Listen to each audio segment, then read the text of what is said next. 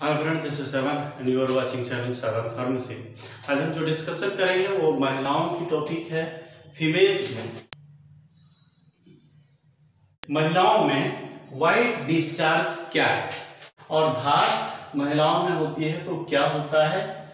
और लिकोरिया किसे कहते हैं, या सफ़ेद पानी जाना महिलाओं में क्या कहलाता है? तो जिसको हम कहते हैं, एक ही चार, एक ही बात को हम किसी भी तरह बोले कहीं कहीं धात बोला जाता है महिलाओं में धात होने की शिकायत। कहीं कहीं बोला जाता है कि लिकोरिया और कहीं कहीं बोला जाता है उसको सफ़ेद पानी आना। ठीक है, हम उसको व्हाइट डिस्चार्ज के नाम से जानते हैं। ठीक है, इसका इलाज कैसे हो? इसको हम किस तरह से ठीक कर सकते हैं? ठीक है तो इसके लिए हमारा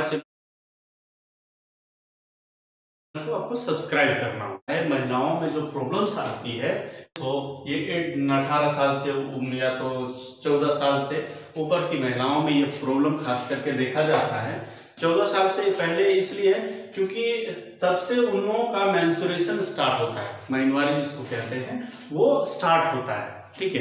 तो जैसे ही वो स्टार्ट होता है महीनवारी तो उसके बाद से क्या होता है अगर कि, किसी तरह से फंगल इन्फेक्शन हुआ और फंगल इन्फेक्शन होने के बाद में ज़्यादा करके खुजली होना और खुजली होकर के जो है सफ़ेद पानी आना शुरू हो जाता है। उसको एंटी एरोबिक बैक्टीरिया और एरोबिक बैक्टीरिया दोनों इन्वॉल्व हुए रहते हैं। प्लस में फंगल इन्फेक्शन भी रहता है और कभी कभी हो जाता है कि पेशाब का जो रास्ता होती है वो अच्छा से अगर साफ़ नहीं हो रहा हो, ठीक है, हमेशा अगर पानी नहीं लेते हो पेशाब करते हैं तो तो ये सब करके ज़्यादा चांस रहता है, ठीक है।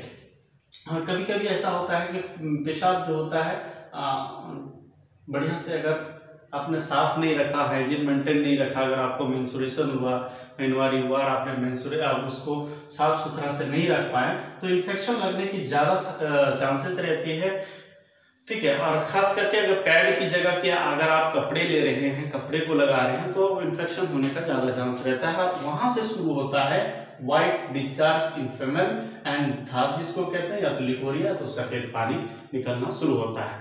जब सफ़ेद पानी या लिकोरिया होना शुरू हो जाता है तो महिलाओं में कमज़ोरी, जिसको पहला कहते हैं, कारण क्या होने लगता है?